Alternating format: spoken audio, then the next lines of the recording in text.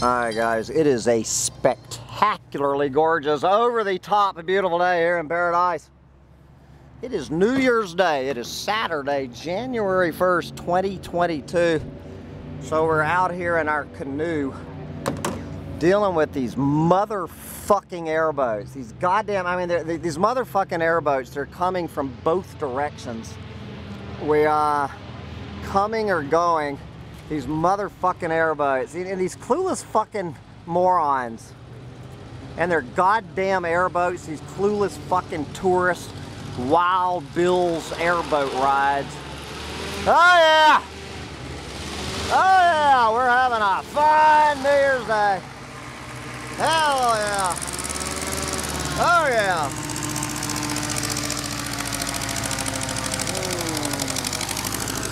Mm. Yeah! We know how to have fun on a canoe. All right. We're getting ready to go rocking and rolling. All right, they're coming, they're going. Here comes Wild Bill's airboat ride. The clueless fucking morons. All right. Yeah.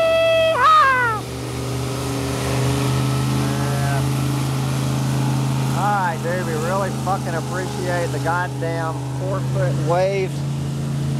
Oh, yeah. We're having some fun canoeing today. Hell yeah.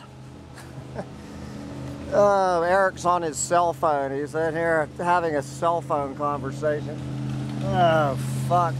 Out here in the middle of fucking nowhere on this spectacularly gorgeous day to go canoeing in paradise. Every one of these motherfucking airboats needs to be put on the bottom of this fucking river. Motherfuckers. I can't believe any clueless fucking moron. You know, an airboat. The airboat truly is the, the poster child of everything that is wrong with this fucking planet. I mean, fucking everything that is wrong with this fucking planet embodied in those motherfucking airboats. Alright, looks like we can go another 50 feet before getting run down. Okay, we can actually hear the sounds of nature returning. Get out there and enjoy the fucking sounds of nature while you still can in 2022.